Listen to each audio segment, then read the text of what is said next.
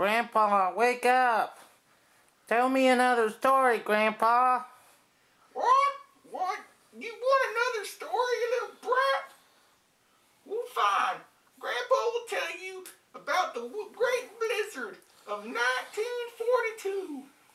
You see, Grandpa was just a young man who had just gotten himself a Red Ryder BB gun for Christmas and was out shooting pigeons with it. And then, all of a sudden, this kicked up. And Grandpa couldn't see, Grandpa couldn't see a damn thing in this whiteout condition.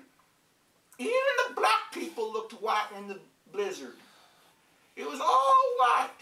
The Ku Klux, the Ku Klux Klan's paradise.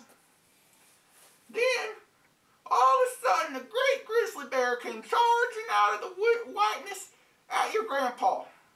Using his vast martial arts abilities and his Red Ryder BB gun, your grandpa shot that grizzly bear right in the head, knocking him dead. Then your grandpa skinned him alive using just his teeth and his fingernails and made a grizzly bear fur coat to wear and keep him warm in the blizzard. Then he had to walk back home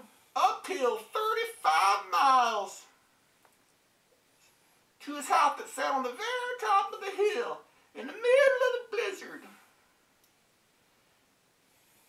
And when he got there, you know what his mom asked him? She was like, where did you get that fur coat? And your grandpa told him, I got the grizzly bear he shot with his Red Ryder BB gun and having to skin him. But your mom, your great grandmom was like, you're a lying bastard. She chased me around with a whip she she had this laying around. She broke that with off and started chasing me around with it.